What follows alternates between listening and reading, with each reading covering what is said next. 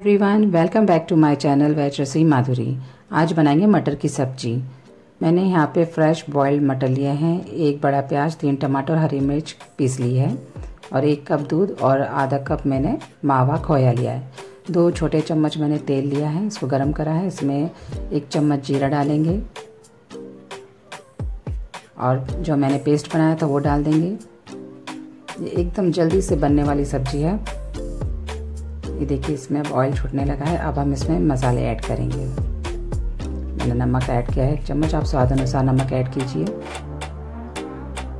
अब इसमें मैं डालूँगी एक चम्मच लाल मिर्च। आप अपने स्वाद अनुसार डाल सकते हैं लाल मिर्च, एक चम्मच धनिया पाउडर, एक आधा चम्मच मैंने हल्दी डाली है।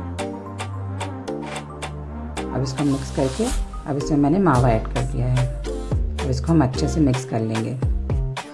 मावा अच्छे से मिक्स हो जाए उसको अच्छे से मिक्स कीजिए आप ताकि मावा इसमें अच्छे से मिक्स हो जाए।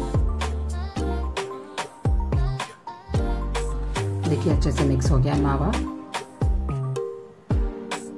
अब हम इसमें ऐड करेंगे दूध। एक कप में मैंने दूध लिया है, इसको मिक्स कर लेंगे हम।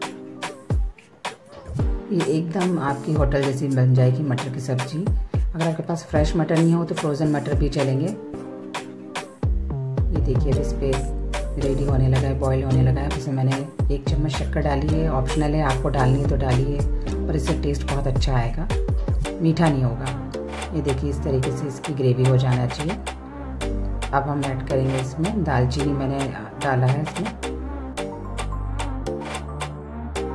ये एकदम जैसे हम शादी और पार्टी में खाते हैं, वैसे मटर की सब्ज़ी बन जाती है। अगर मेहमान आ रहे हैं, आप तो झटपट बना सकते हैं।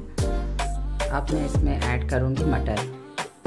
आप एक कप मटर मैंने ऐड किए इसमें। इसको दो मिनट तक उबलने देंगे। ये लीजिए रेडी होगी। आपकी मटर की सब्ज़ी, हरी मटर की सब्ज़ी गर्मा गर्मा सर्व कीजिए।